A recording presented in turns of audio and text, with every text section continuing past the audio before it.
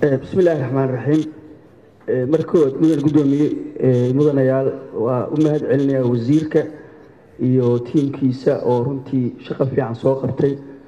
Sharcigaanu waxa weye runtii waa sharci muhiimad weyn u leh shaqaalaha dowladda oo shaqeeya oo maxaa la yidhaahdaa siinaya markii qofku ama uu howlgab gaaro ama uu maxaa la yidhaahdaa ama da ku gaaro ama caafimaad dare ku gaaro inuu helo xuquuq.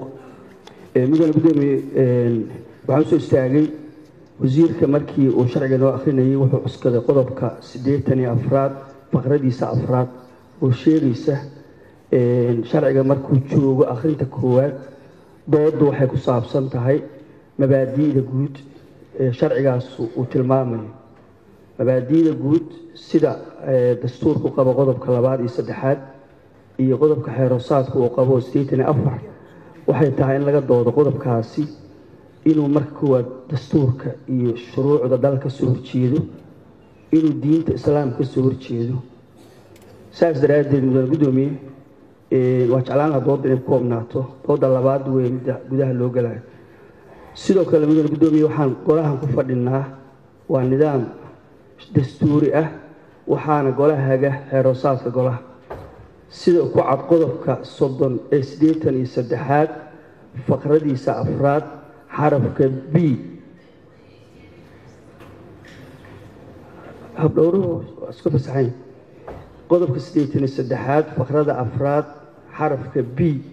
Wuxuu sheegayaa sharci kasta oo la keenayo golaha inay la socdaan lifaaq caddaynaya kharashka ku baxaya sharcigaas.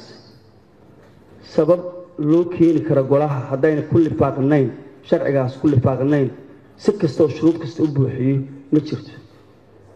Sharciga hadda aniga naloo qeybiyey waa ku lifaaqan yahay maxaa la yidhaahdaa shuruucda dalka inuu waafaqsan yahay oo waxaa la socota warqadii uu gariiqaanka guud soo raaciyey.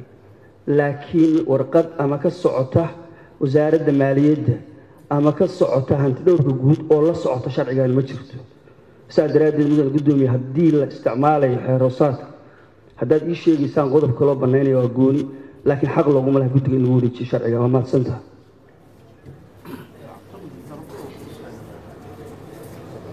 xildhibaan cabdiraxmaan cagaweyn